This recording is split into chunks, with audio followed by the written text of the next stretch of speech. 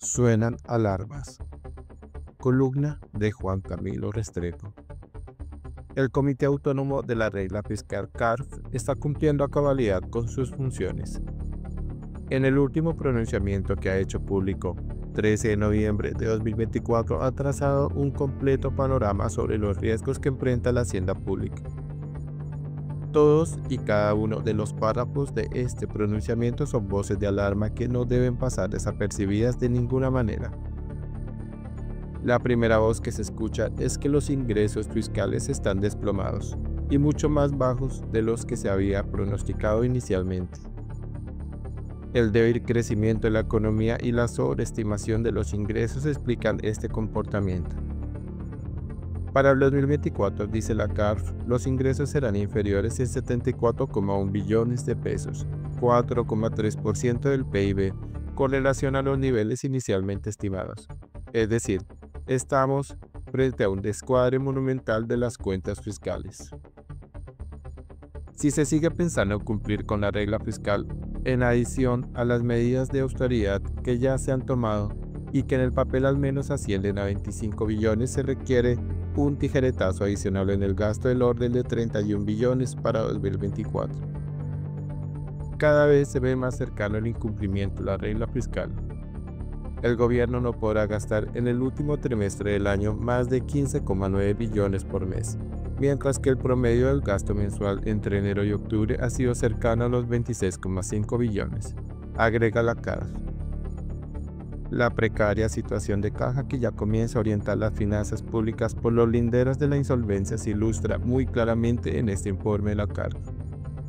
El saldo disponible en pesos de la tesorería se ha mantenido por debajo del promedio histórico buena parte del año, y esta situación se acentuará en la medida en que se genere un mayor rezago presupuestal de la vigencia de 2024 para ser ejecutado en 2025. Este secamiento en la caja explica lo que está convirtiendo en una pesadilla diaria, que consiste en las frecuentes voces que se escuchan desde el Palacio de San Agustín en el sentido de que no hay recursos disponibles para nada. El gobierno central se ha convertido en las últimas semanas en el deudor moroso más conspicuo de la economía colombiana.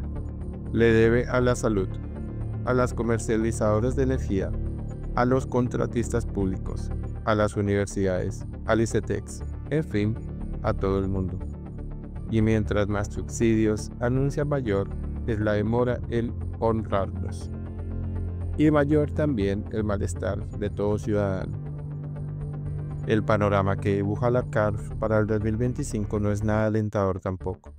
Las proyecciones muestran que los ingresos programados por el gobierno presentan un alto grado de incertidumbre. Con la información disponible hoy, el CARF estima un riesgo de menores recaudos de por lo menos 33 billones de pesos, 22,6 billones por menos gestión de la DIAN, 4,2 billones por menos base de recaudos del 2024 y 12 billones si no se aprueba la ley de financiamiento, que, de no ser aprobada, generará igualmente una congelación obligatoria de 12 billones en el presupuesto de la vigencia 2025.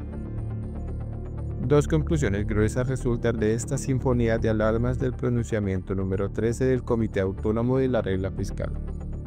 La primera, que tanto para la vigencia del 2024 como para la del 2025 se necesitan drásticos recortes en los programas del gasto público superiores a los 30 billones en cada año, si es que efectivamente se quiere cumplir con la regla fiscal y evitar las malas consecuencias que un quebrantamiento de esta norma acarrearía y la segunda, que todo el sainete en que se enfrascó el gobierno empeñándose en que el presupuesto del año entrante se incorporará como ingresos ciertos los famosos 12 billones de la reforma tributaria que aún son inciertos, no habrá servido para nada.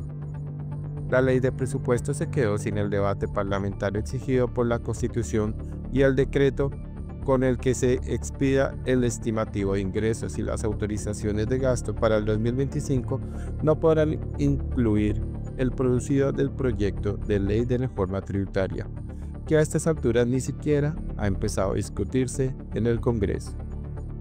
En buen romance, lo que nos está diciendo el CARF es que llegó la hora de la seriedad fiscal de la información transparente y que si se quiere cumplir con la regla fiscal hay que empezar por moderar desde ya el programa de gastos públicos. Postdata. El gobierno anunció esta semana que expedirá un decreto de recortes en el presupuesto de la vigencia en el 2024 por 28,4 billones de pesos. Este monto es inferior al que inicialmente se había anunciado por 33 billones. El gobierno cree que con este recorte será suficiente para cumplir con la regla fiscal. Veremos qué tal exacto y suficiente resulta el tijeretazo presupuestal del nuevo decreto. El gobierno agrega que, en adición a los 28,4 billones del decreto, habrá una reducción adicional proveniente de apropiaciones autorizadas para el 2024, pero que no se complementarán y por lo tanto se dejan expirar presupuestalmente.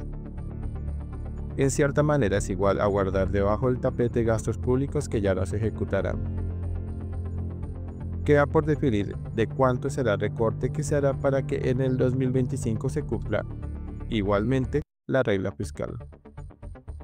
A juzgar por el desplome que trae los recaudos, se va a necesitar otro recorte de gasto igual o superior al que se está decretando en este agónico 2024.